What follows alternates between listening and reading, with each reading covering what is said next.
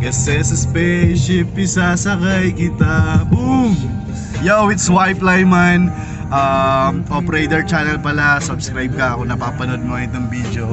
Mayroon akong pupunta ang open mic ngayon sa Taytay Rizal.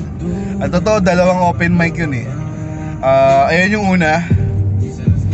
Ayan yung unang open mic. Nagdalawang isip akong puntahan yan kasi baka hindi ako makasalang. Kasi wala akong kilala dun eh. So, mababa yung chance para makasalang. So, yung pupuntahan ko na lang yung isang ah, event, ah, may grand opening ng or soft opening pala ng Kultura Cafe.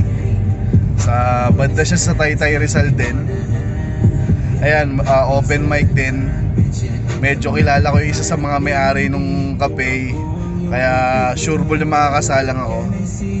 So, ayun yung plano. Kaya doon ako pupunta. Kasama ko pala si Mark. Nothing lasts forever. I'm sorry, I can't be perfect. Mark Gabe, what's up? Ayun, makikisabay lang ako sa kanila. Pumunta sila Marikina, so medyo malapit na ako sa daanan na kaya bababa ako doon. And saka doon sa pangalawa na doon sa um, Kultura Cafe, doon makakatatlong kanta ako doon. Kaya mas maganda doon kasi kapag ah, normally kapag yung mga open mic na wala kang kilala or sugal yung pagpunta mo, normally, kung hindi isang kanta, dalawang kanta lang. So, ayun lang man lang lagi ang target natin is makasalang. So, dun tayo sa may safe. Kaya dun ako pupunta dun sa pangalawa. So, yun, abang-abang lang kayo. Mamaya update ko kayo kung anong mangyayari habang papunta ako dun. So, yun, safe, safe, safe, safe. Whoop, whoop, whoop. Ito muna kami. Whoop. It's Wipe Lyman. Yun, papunta na ako ngayon dun sa open mic dito sa may Taytay. Event. So, balita ko na lang kayo kung anong mangyayari dun. Whoop, whoop.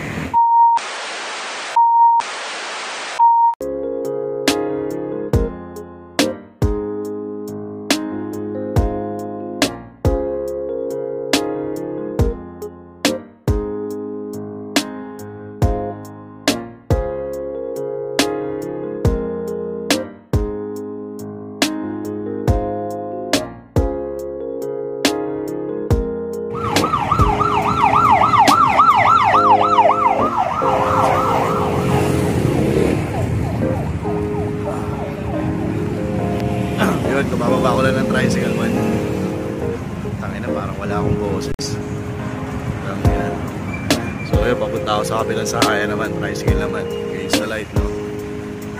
Iba talaga pakiramdam pagka lumalabas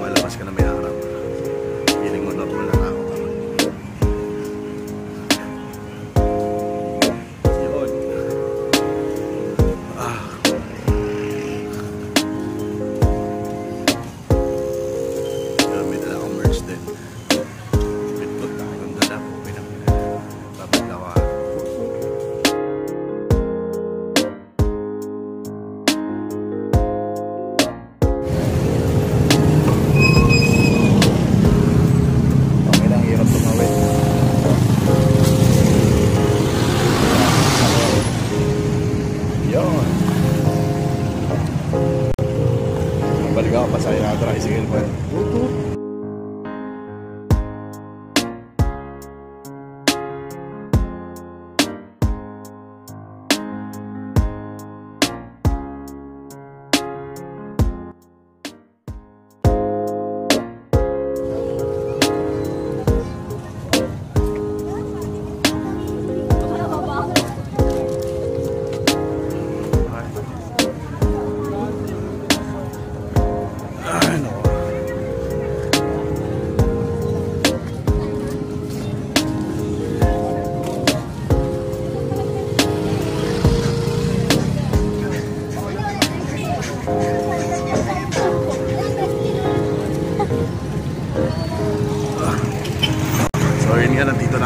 Taytay, bagong palengke.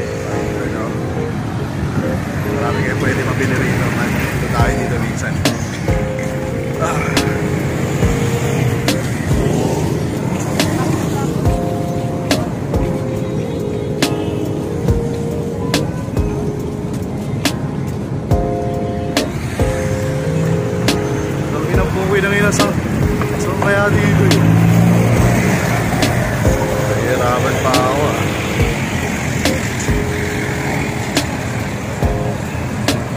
Babalik ako kung naliligaw ako. Doon lang, mag- mag-vlog na lang ako pag nandun na ako sa spot. Oh, nandito na ako sa pinaka-street. Ang ina, hinahanap ko pa yung pinaka-store. So, kaya makikita yung store na yun. Yung Cultura Cafe. Parang ang lapit sa mahaba pero putang ina pagdating pala rito hindi. Mahaba pala yung daan. Ah.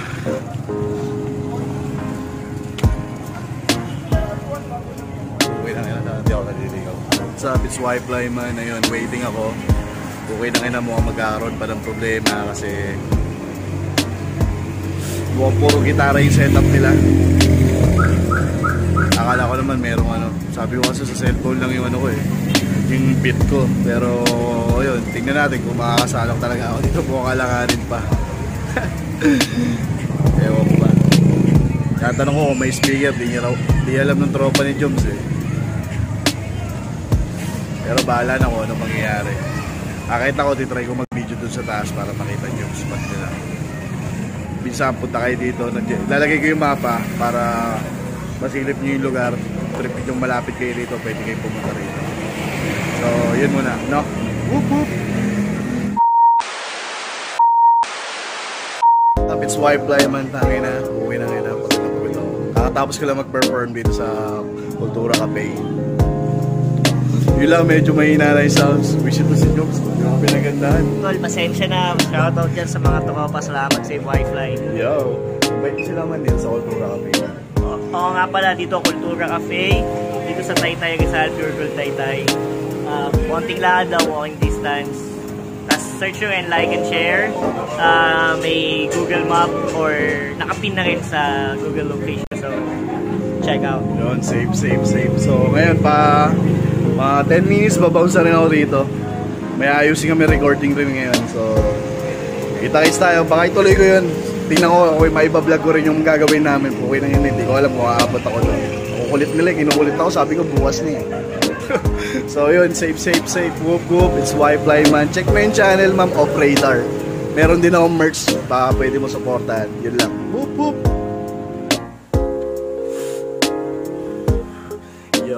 Wi-Fi man. Yun, nakauwi na nga ako. Ah, di na ako, di na, di na ako tumuloy sa recording namin. Ah, ayusin sana.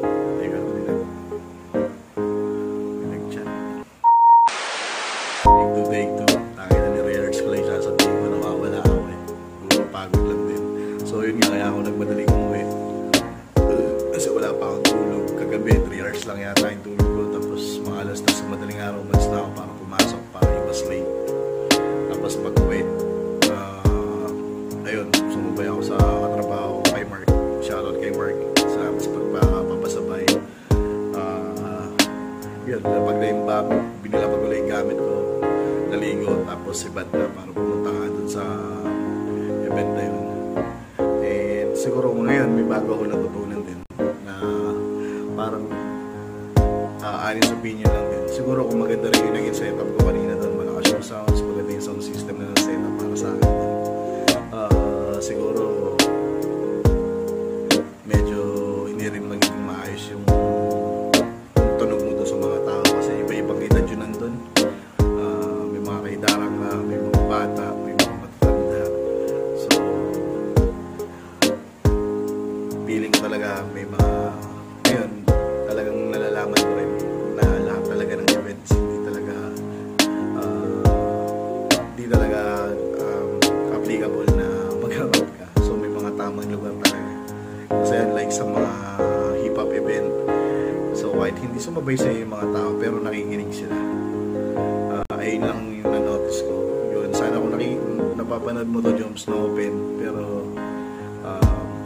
dinidiscuss ko lang kasi talaga dito yung, ano, yung detalye, kung ano yung nangyayari behind the scene.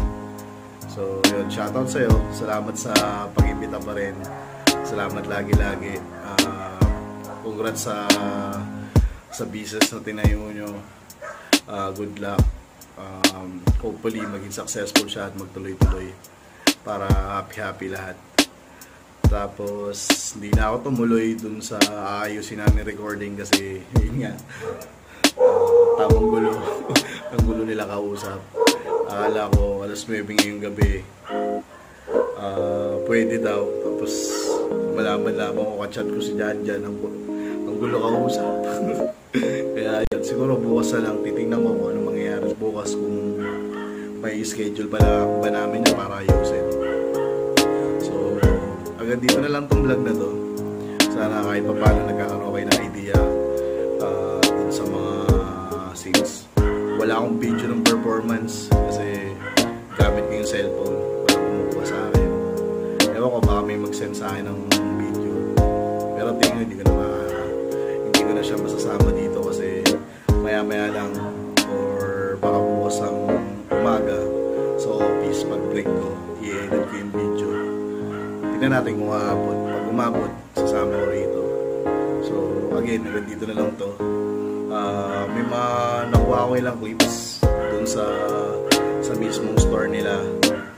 Ah, so yun panoorin nyo na lang after nito. So hanggang dito na lang ako.